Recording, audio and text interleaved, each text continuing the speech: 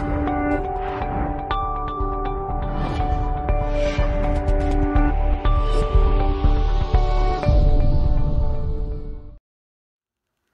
is Tim with Off Leash K9 Training Cincinnati, and joining us for the next two weeks for our board and train program is Andy. Now, Andy is a five month old Old English sheepdog, and Andy's coming to us uh, with a few issues uh, jumping up on people, need to get that to stop. Uh, skittish, he's very skittish of a lot of things, um, so we're going to help build up his confidence, get him out around people, socialize him, um, and show him, you know, there's not a lot to be scared of in this world. So um, before we get started, we need to see what Andy here knows and see what we need to build off of. So we'll start with a recall. We'll get him away from us. Andy, come.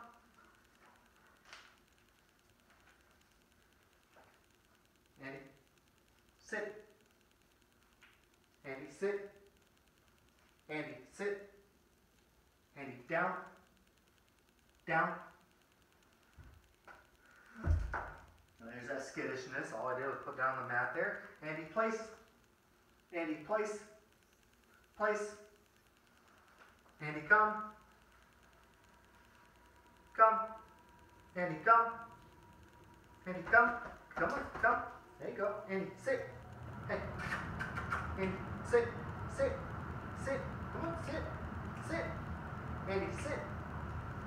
All right, so as you see, um, Andy knows a little bit. He knows uh, to come over when he's called, uh, but just does it when he wants to do it. Um, he's a little enticing. Um, so we're going to work on all of uh, his commands. We're going to get him going, and I'm excited to work with him the next two weeks. Sit.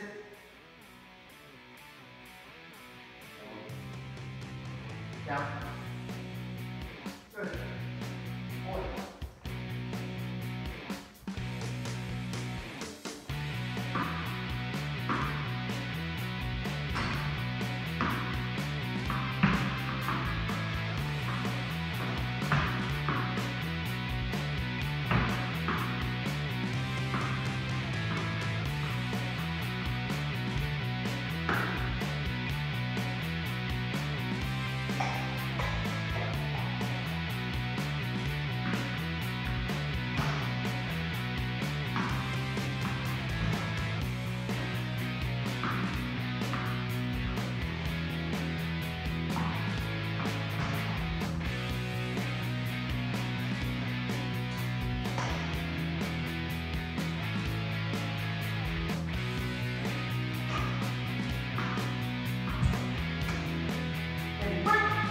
Chicago.